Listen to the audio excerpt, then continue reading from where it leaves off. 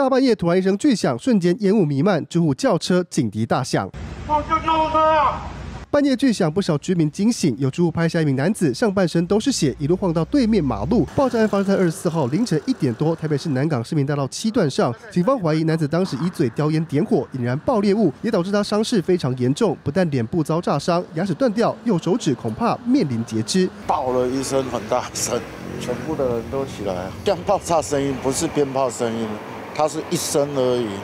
然后整个白烟整个冒起来，地上血迹斑斑，还留下卫生纸。另一头东西被丢到一辆货车底下，仔细一看，一坨引信，旁边有个铁盒子。辖区警方获报不敢大意，立刻向上通报，还出动防爆小组。好在最后确定里面的爆裂物其实是小龙炮。防爆跟监视小组都有过来，丢在这个货车下面了。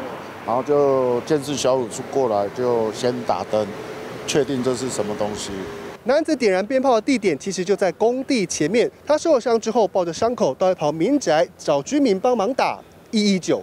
至于这爆竹到底从哪来？男子自称路边捡的。不过警方扩大调阅监视器，却在附近周遭都没有看到其他可疑人士，因此对他的说辞保持怀疑。发现路旁有一盒鞭炮，因好奇心作祟，便拿嘴上香烟引燃。经远景检视，现场留有装个数个鞭炮盒子。后续将持续调查，以厘清。案发经过，警方调查这名三十六岁陈姓男子就住在附近，只是不管动机为何，半夜传出爆炸意外，以及让居民饱受惊吓。进新闻教授李日成采访喽。